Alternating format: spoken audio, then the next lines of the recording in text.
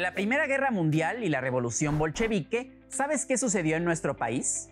A nivel mundial también se vivió la influenza de 1918, mejor conocida como gripe española. ¿Te suena conocido? ¿Ya recordaron qué sucedió en nuestro país entre esos eventos mundiales? Sabremos cómo se llevó a cabo la institucionalización de un nuevo tejido político y reestructuración económica, es decir, la creación del Estado postrevolucionario mediante la Constitución de 1917. Para lograr dicha institucionalidad era necesario incorporar y subordinar políticamente a los dos grupos más importantes de las clases sociales populares, campesinos y obreros. Carranza tuvo que enfrentar la tarea de activar la economía nacional, la revolución y la guerra mundial habían provocado el exilio de hacendados y empresarios, la interrupción del comercio y la inversión extranjera. La doctora Marcela Mijares nos acompañará en este viaje de conciencia histórica. Comenzamos. Cuando hablamos del Estado por revolucionario, debemos pensar que es el resultado final de la Revolución Mexicana. Eh, los cimientos de este Estado lo podemos encontrar en la Constitución de 1917 que lo dotó de, facultades. ¿De qué Estado hablamos? Es un Estado benefactor, es un Estado eh, interventor, regulador, conductor de la economía, con capacidad de controlar y subordinar, movilizar sectores populares. Entonces es un Estado que se convierte en el rector de la economía, en el árbitro de las relaciones sociales, eh, en el promotor de la cultura y de la identidad nacional digamos que estamos hablando de un gran Estado, ¿no? Y su legitimidad radica en su origen revolucionario. A partir de 1920 ya es muy evidente que las viejas élites del porfiriato han sido desplazadas por estos grupos revolucionarios. En su mayoría eh, son integrados por clase media, lo cual eh, pues nos habla bastante bien que no, hay, no tienen vínculos con el antiguo régimen, es decir, con el porfiriato. Es una clase media que además comprendió que debía establecer alianzas con los sectores populares, campesinos y obreros que habían participado en la lucha revolucionaria y que reclamaban el cumplimiento de, de, sus demandas, ¿no? A través de algunos artículos de la Constitución del 17, como el artículo 27 y el artículo 123. Entonces, reitero, es un, es un Estado con una identidad muy nacionalista y ampliamente legitimado porque contó con el apoyo popular. Uno de los reclamos de, de estos grupos revolucionarios fue precisamente el reparto agrario. Entonces, si pensamos en los avances o retrocesos en la posrevolución, eh, pues debemos recordar que eran legítimos estos reclamos porque la, población campesina había participado pues, en el levantamiento armado y eh, muchas de sus banderas, en particular, por ejemplo, el plan de Ayala, se incorpora a estas demandas y se materializan en el artículo 27 constitucional, que finalmente este artículo lo que hace es establecer eh, como obligación del Estado dotar de tierras a los campesinos. Entonces, esto lleva a los gobiernos de la posrevolución a cumplir con la demanda, más con fines de pacificación y, para legitimar este Estado que propiamente como un acto de justicia social. El Estado, eh, revolucionario, reparte tierras, pero reparte tierras de baja calidad. Entonces, en esencia, no, no resuelve el problema agrario, ¿no? En cambio, lo que sí hace es estimular la propiedad privada con la idea de reconstruir económicamente a México después de la revolución y rápidamente pues se olvidan estos principios de, la revolución mexicana y se reinicia una especie de concentración de la tierra en manos de privados. Entonces para 1930 eh, este estado decide que el reparto agrario ha llegado a su fin, de hecho lo decreta, en un país donde todavía el 60% de la población era rural.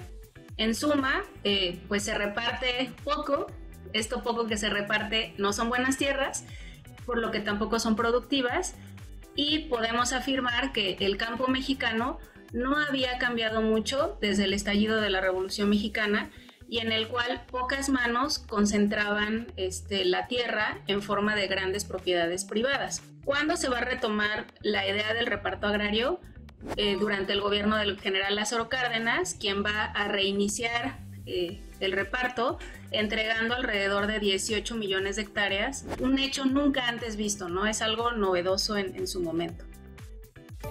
En 1926, el arzobispo José Mora y del Río ratifica una declaración hecha nueve años antes contra la Constitución de 1917. El gobierno respondió cerrando escuelas y conventos y deportando a 200 sacerdotes extranjeros.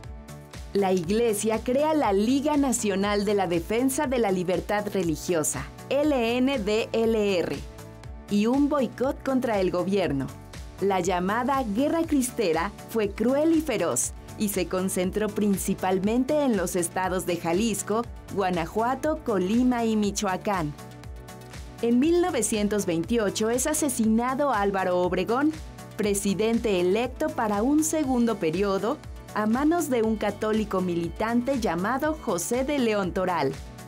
Finalmente, en 1929, con la intervención del embajador norteamericano, la Iglesia accedió a la rendición del ejército cristero a cambio de que el gobierno se comprometiera a no interferir con la organización interna de la institución religiosa y a aplicar la constitución con un espíritu de conciliación.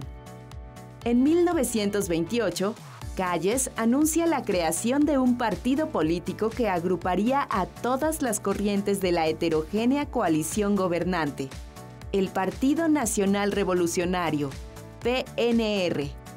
Al limitar la autonomía de los caudillos e introducir al sistema grupos obreros y campesinos como actores políticos, el peso de los caciques y de los militares fue disminuyendo, y el problema de la lucha por el poder pudo ser resuelto en los años subsecuentes sin el uso de las armas.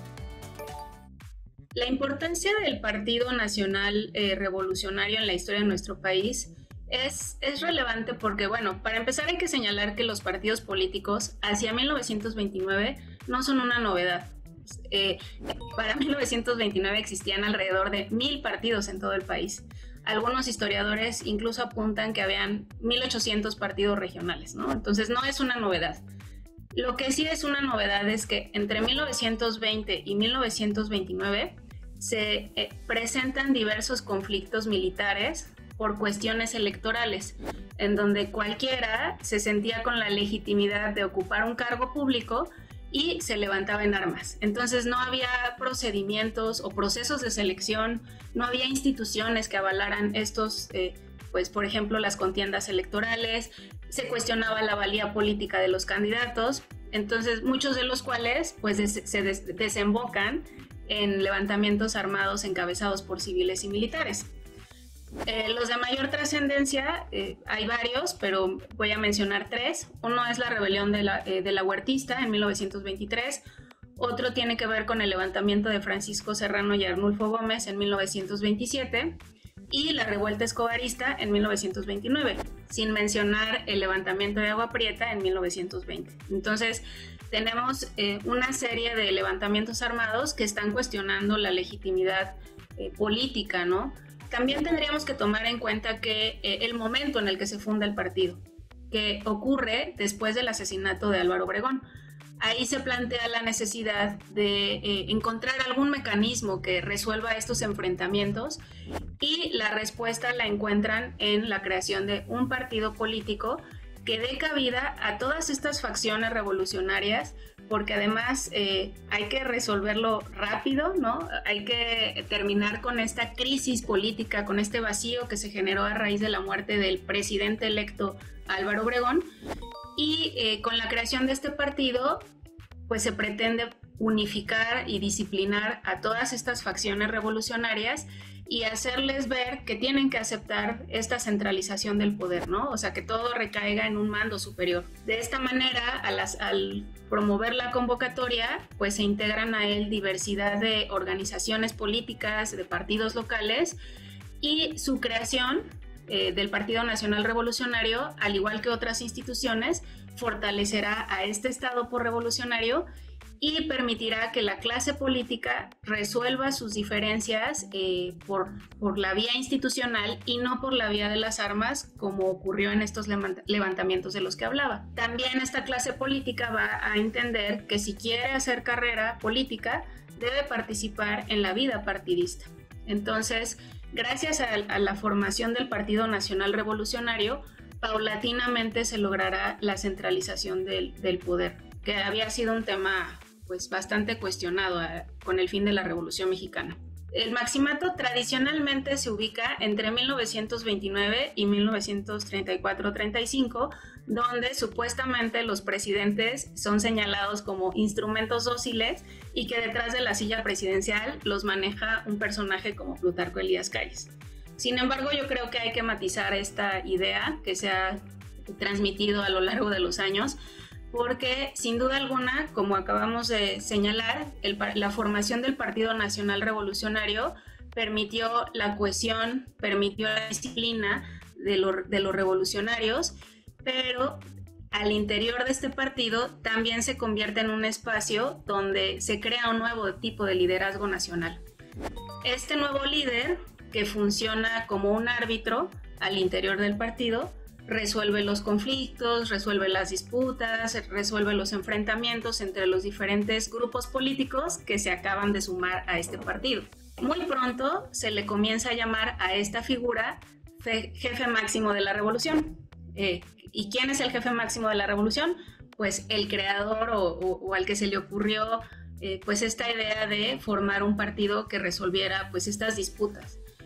Paulatinamente, Plutarco Elías Calles va a alcanzar más espacios este, dentro del partido eh, y, fuera del partido. Y eso va a debilitar al Poder Ejecutivo a tal grado que para 1933-34, eh, jefes del ejército, dirigentes políticos, dirigentes sindicales, acudían a calles como si este eh, pues fuera el presidente, ¿no? E incluso eh, en algún momento se asegura que hay dos cabezas al frente ¿no? del Estado. Una es el presidente, que se encarga más como de las tareas administrativas, y otra es el jefe máximo, que se ocupa pues en realidad de las cuestiones políticas, ¿no? De 1929 a 1934, pues sí se crea esta especie como de maximato, ¿no? Como se le ha denominado, pero eh, cuando llegue Cárdenas al poder, este maximato pues desaparecerá y será sustituido por un presidencialismo fuerte. El 3 de octubre de 1921, por decreto presidencial, se creó la Secretaría de Educación Pública. José Vasconcelos asumió la titularidad de la Secretaría con tres ideas fundamentales. La Secretaría integraría todos los niveles educativos, desde el jardín de infancia hasta la universidad creación de bibliotecas con el objetivo de garantizar materiales de lectura para apoyar la educación en todos los niveles, y el Departamento de Bellas Artes para coordinar las actividades artísticas complementarias de la educación. Gracias al movimiento universitario de 1929, el entonces presidente de la República, Emilio Portes Gil, promulgó la Ley Orgánica de la UNAM, en el que la Universidad Nacional de México adquiere el nombre de autónoma. El panorama anterior se ensombreció de nuevo con el estallido de la Gran Depresión de 1929, que se tradujo en una severa disminución de las importaciones y exportaciones que afectó tanto al sector minero y petrolero como a la agricultura de exportación. Ese año también hubo sequía, por lo cual la población dedicada a actividades agropecuarias lo padeció aún más. El periodo entre 1929 y 1934 se le conoce como Maximato, en honor al también llamado jefe máximo de la revolución, Plutarco Elías Calles, que gozó de suma influencia con los presidentes Emilio Portes Gil, Pascual Ortiz Rubio y Abelardo L. Rodríguez. Para la visión del México de Calles, la personalidad del general Joaquín Amaro era la indicada para llevar la presidencia, pero por su trayectoria y edad, Lázaro Cárdenas del Río tendría menos oportunidad de romper con el jefe máximo. pero para mayor seguridad había ordenado preparar una plataforma política llamada Plan Sexenal, a cuyos lineamientos se tendría que sujetar el candidato del PNR. El 30 de noviembre de 1934, ya en la presidencia, Cárdenas tuvo que aceptar un gabinete en el que estaba incluido como secretario de Comunicaciones y Obras Públicas Rodolfo Calles, hijo del general, entre otros callistas. Durante los primeros meses de 1935, su gobierno apoyó las huelgas de los trabajadores de las organizaciones obreras independientes al PNR, lo que provocó que los callistas desafiaran la autoridad del presidente y recurrieran al jefe máximo de la revolución. El 14 de junio, Cárdenas pidió la renuncia de todos los miembros de su gabinete y el 17 del mismo mes integró uno nuevo, sin elementos del callismo y con Emilio Portes Gil en la presidencia del Comité Ejecutivo del PNR. En abril de 1936, Cárdenas obligó a Plutarco Elías Calles a abandonar el país.